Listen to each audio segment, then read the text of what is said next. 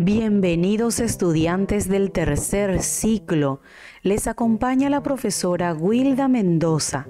En el área de Historia y Geografía trabajaremos un tema importante, así que les invito a observar el siguiente material.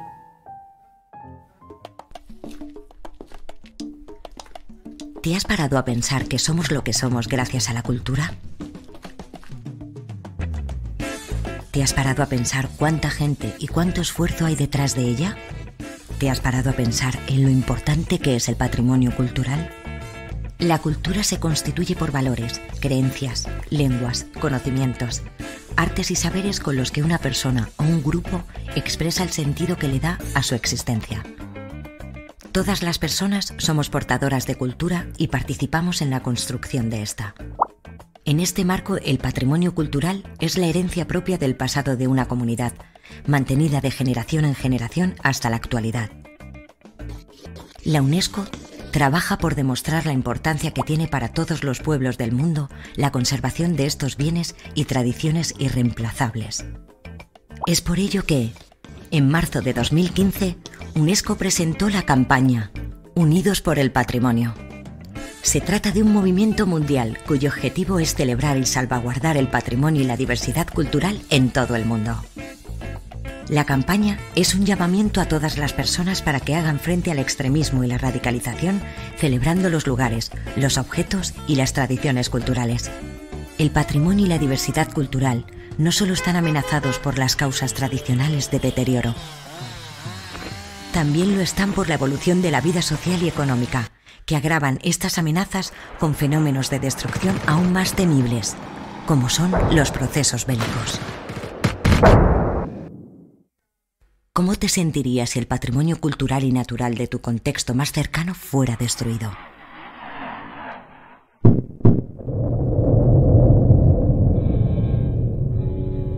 Duele pensarlo, ¿verdad? Ahora mismo, en muchos países del planeta, la pérdida del patrimonio está siendo una realidad. La protección del patrimonio cultural contribuye a curar heridas generadas por los conflictos armados y por desastres naturales, construyendo esperanza, dignidad y empoderamiento de las comunidades desde la reconciliación y la cohesión social. No nos olvidemos de que el patrimonio es nuestra herencia y que debemos cuidarlo para las generaciones del mañana. Salvaguardemos toda la cultura que nos queda por compartir. No te pares a pensarlo más. Ponte en marcha y celebra la diversidad cultural. El patrimonio es el legado cultural que recibimos del pasado, que vivimos en el presente y que transmitiremos a las generaciones futuras. El patrimonio cultural es la herencia recibida de los antepasados y que viene a ser el testimonio de su existencia, de su visión de mundo, de sus formas de vida y de su manera de ser. Y es también el legado que se deja a las generaciones futuras. El patrimonio se divide en natural y cultural. Y el patrimonio cultural se vuelve a dividir en dos tipos, tangible e intangible. Vamos a ver a continuación una imagen donde nos muestra un cuadro con un mapa conceptual para poder comprender mejor el tema. Aquí vemos el patrimonio que se vuelve a dividir en natural y cultural. Natural tenemos paisaje natural, monumentos naturales, parques nacionales y el cultural se divide en tangible e intangible.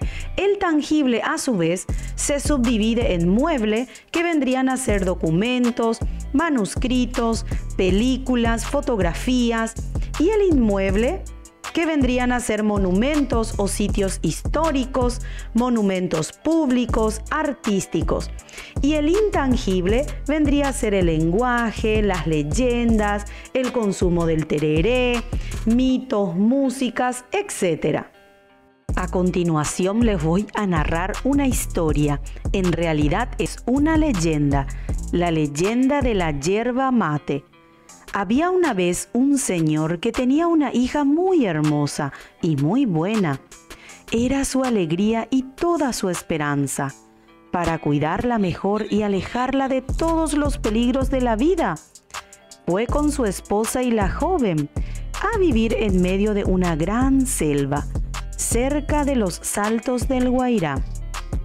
Allí el hombre cultivaba maíz, mandioca, zapallo y otras plantas para el sustento diario.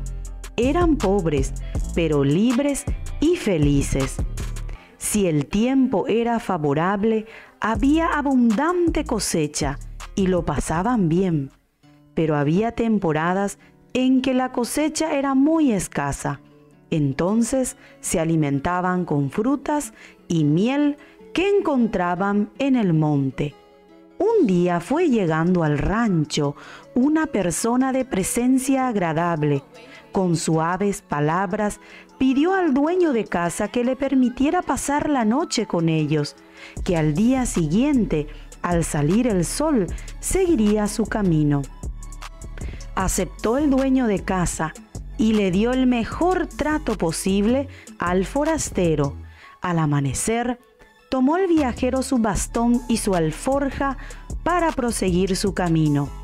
Pero antes le dijo al dueño de la casa, Yo soy un enviado del cielo y he venido a enseñar y premiar a los buenos. Me llaman en estas tierras Paí Sumé. Como sabía que estabas viviendo en la soledad para salvar a tu querida hija de toda clase de peligros, he llegado hasta aquí donde encontré el más generoso hospedaje.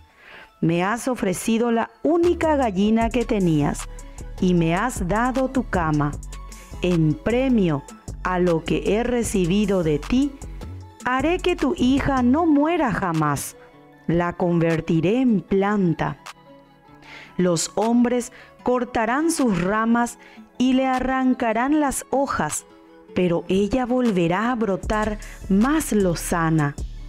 El personaje se despidió y siguió andando su camino.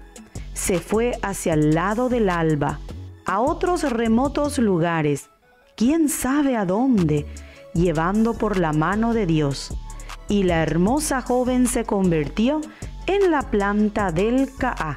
Desde entonces, las ramas y las hojas cortadas de la hierba mate son tostadas y molidas para que después de cebadas, ya sea con agua caliente o fría, sirvan al hombre de bebida reparadora y estimulante. El tereré y el pojañaná ya son oficialmente patrimonio cultural inmaterial de la humanidad. 10 de septiembre de 2021, Paraguay recibió este viernes el certificado de reconocimiento del tereré y el pojañaná como patrimonio cultural inmaterial de la humanidad que otorga la UNESCO. A continuación veremos un resumen de un informe referente al tema que estamos tratando. De tereré, tú sí tereré imbae. En de tereré ningo grandes cosas porque pean en el principio, en la originalidad, como paraguayo, añandeña Entonces le felicito y le agradezco demasiado a ustedes que la prensa llega al corazón en los confines. Es para el Paraguay, es también para el mundo, todo lo que está en nuestros países también. Es un logro muy importante para nuestro país. El tereré como bebida tradicional del Paraguay es transmitida de generación en generación hasta nuestros días. Ahora, con este reconocimiento importante, el principal objetivo es revalorizar esta infusión como identidad nuestra de ser paraguayos. Por el tereré conocimos a mucha gente interesante en el camino. Uno de ellos es el ex sacerdote Derly Benítez, que hizo un libro sobre eso, sobre el tereré e incluso había entrevistado a los excombatientes de la guerra del Chaco, eh, desmitificando que el tereré había nacido en la guerra del Chaco, porque los ex soldados que él entrevistó en los años 90 contaban que el tereré ya lo preparaban ellos cuando eran niños a sus padres y la mayoría nació entre 1900 y 1903 aproximadamente. La infusión fría, como le suelen decir eh, justamente en los, en los libros, justamente, y llegamos a Bertoni en este momento ahí. Eh, el sabio Bertoni hizo una, un estudio de, cuántas veces, de cuántas formas de preparación existe de la yerba mate. Y entre ellos estaba el tereré y de la forma de consumo. Y más aún los portadores, que no solamente son los que consumen, también están los productores de plantas medicinales, los productores de yerba mate, los artesanos. Entonces hubo un montón de gente detrás de esta hermosa tradición que hoy es Patrimonio de la Humanidad de la UNESCO. Los impulsores de esta gran hazaña recibirán hoy la mención después de un trabajo de años de investigación y recolección de antecedentes históricos, por sobre todo lo que significa obtener este logro. La un día una sea que una wana obetata ko ko ya ya eso es patrimonio ya eso es historia sobre todo bandera paraguaya porque la año de Tereré desde aquel años y años de los siglos, como los hombres, las mujeres se reunían y tomaban tereré y hablaban, conversaban. Y ese diálogo que salía del corazón era un diálogo de comprensión, de bondad, de solidaridad, de añetete paraguayite. Esta bebida está reconocida por ley como Patrimonio Cultural y Bebida Nacional del Paraguay. Incluso se establece la celebración del Día Nacional del Tereré el último sábado de febrero. Espero que este material les sirva para que puedan comprender mejor sobre el tema abordado, además para que puedan completar sus ejercicios. No olviden de cumplir con las normas referente al protocolo sanitario, el uso correcto del tapabocas, el lavado correcto de las manos, el distanciamiento y la aireación. Además, quisiera felicitarles por la Semana de la Juventud. Espero que disfruten de la mejor manera posible y nos volveremos a encontrar oportunamente.